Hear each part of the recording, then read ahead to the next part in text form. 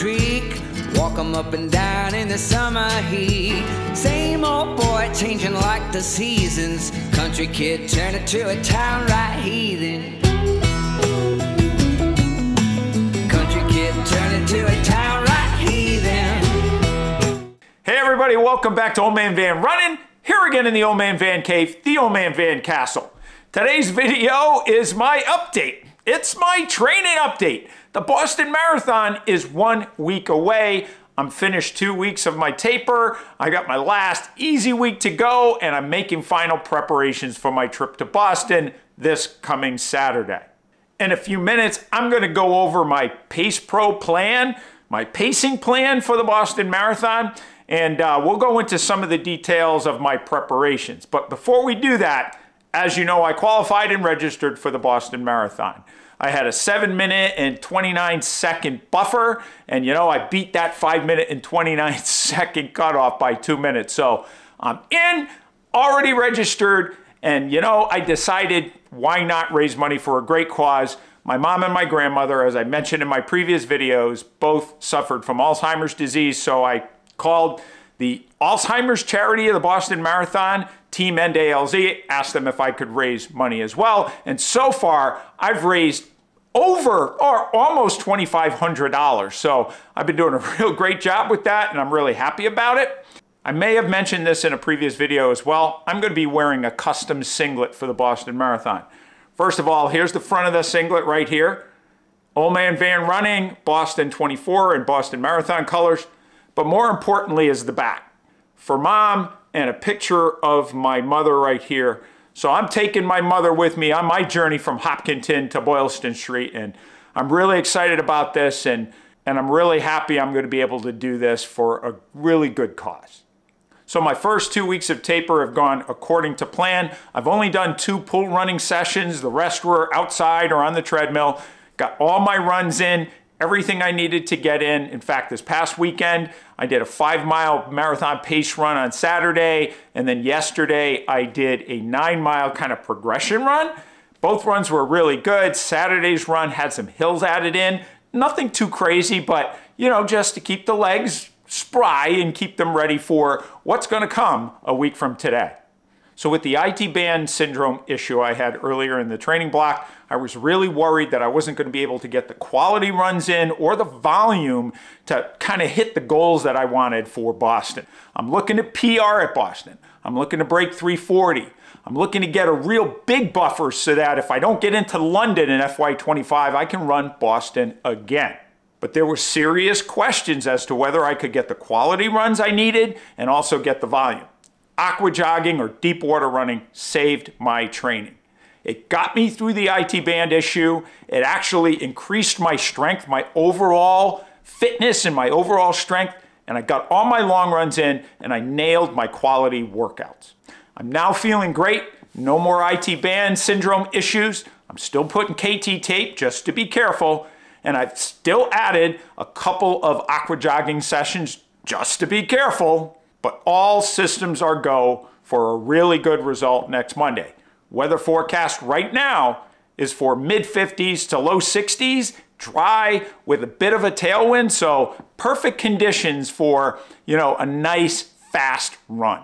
The key is going to be being disciplined in my pacing plan. So let's get right to my PacePro strategy for next Monday's Boston Marathon. So here we are in the Garmin PacePro plan. This is in Garmin Connect. So as you can see here, 2024 Boston Marathon. Now I've got 26.23 miles and that's because, you know, the map that I was able to get had 26.23.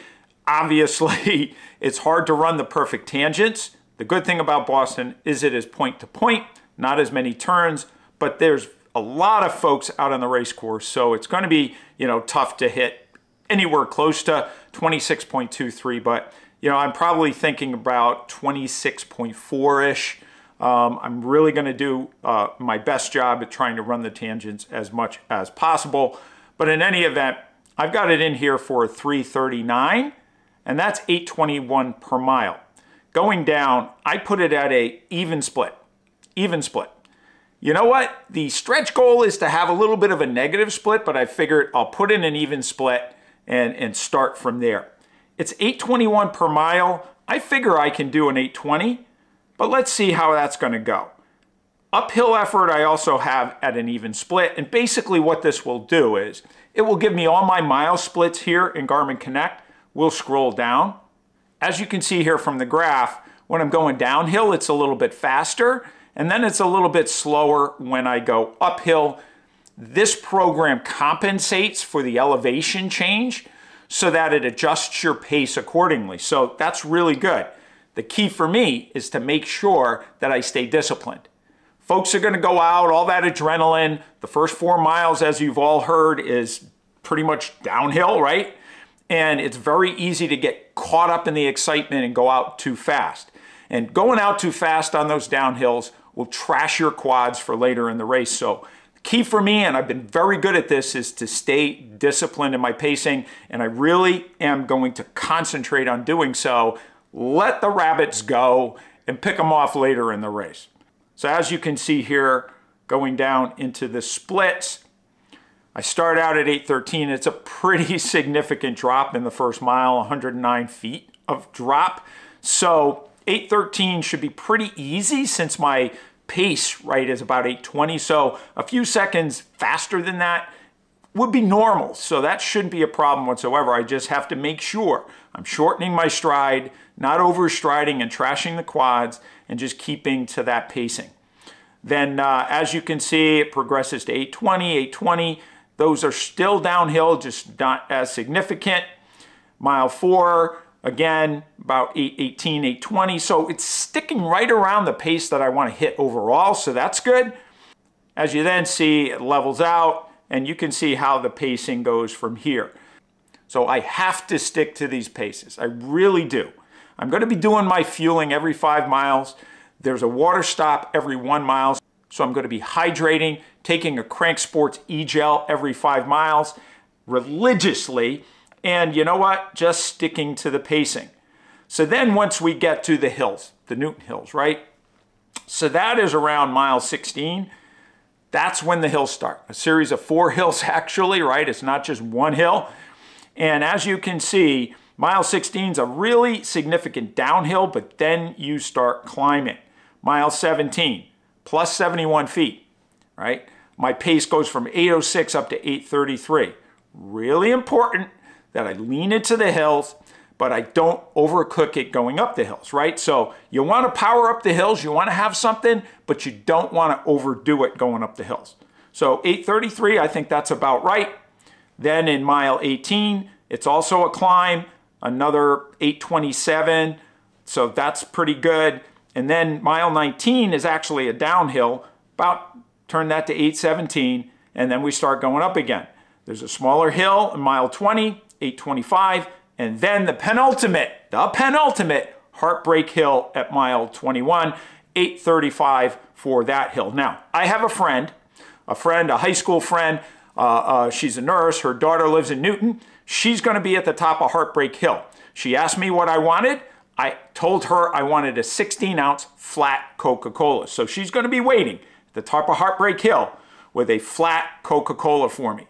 That absolutely got me my Boston qualifier at the Marine Corps Marathon in 2022. I got a bottle of flat Coke from my buddy at mile 23 and it really gave me a boost for the last three miles. And now I'll have it at mile 21, which should be even better. Now we look, now it's downhill to the finish line. So it's over five miles or around five miles of downhill running, right? So in mile 22, it's 79 feet of drop. That I'll take my pace all the way down to 809, 810 and then you can see the paces here. Now, the paces here, 809 to 818, it's all downhill for the most part except the last mile. Now, the key here, the key here is, those are conservative paces. The goal is to get to the top of Heartbreak Hill, get that flat Coke, and have something left in the tank. If I'm feeling good and disciplined in my pacing, I really think I should be able to get closer to eight minutes and maybe throw in a couple of sub eights in there. If I do that, I may even be able to get down close to 335. But breaking 340 is the goal, and I'm going to do everything in my power to make sure that that happens. When I ran the Marine Corps Marathon and qualified, I actually hit my pacing exactly. I planned for a 342.30 and I hit a 342.30. If I stick to my pacing plan here, there's no reason why I can't achieve a sub 340 and potentially get down to 335. So if you have any questions on Garmin Connect, PacePro plans, how to set them up, how to use them on your watch, let me know in the comments below. So there you have a quick update, my PacePro plan in Garmin, the plan for next Monday. I'm going to post some more videos this week going over some of the other preparations. I'll, once I get all my gear and everything laid out, I'll also post a video on that. One last thing is, I'm not going to be carrying my GoPro during the Boston Marathon. The BAA really discourages filming of the race and because I have a goal here, right? Because I have a goal to break 340 and maybe hit 335, I really want to take this opportunity to race Boston, to race Boston without distractions. I hope to get a lot of good pictures from Marathon Photo, and I'll publish a nice slideshow once I get those photos. And hey, you know what? I'll also take a lot of video of Marathon weekend, so you'll get a lot of video of all of the activities surrounding the Boston Marathon. So thanks for watching this video. If you liked it, make sure you hit the thumbs up button. If you haven't subscribed already, please hit the subscribe button and that notification bell so you'll get notified when more videos are posted. Comments, comments, comments, any and all comments really does help the channel. Also, if you have friends, running pals, acquaintances that you think might enjoy the Old Man Van Running channel, please let them know. Also, as I mentioned earlier, I'm raising money for Team END ALZ. Right here is a QR code you can scan and go right to my fundraising page, and I'll leave a link in the description below. Thanks again for watching this video. Remember, lace up those shoes and let's get out on the roads. Railroad tracks run along the creek. Walk 'em up and down in the summer heat. Same old boy changing like the seasons. Country kid turning to a town right heathen.